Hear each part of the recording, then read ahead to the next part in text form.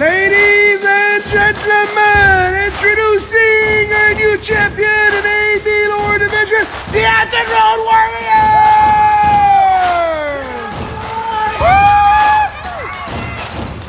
Now introducing our new champion in the EU upper division, the Acton Road Whalers!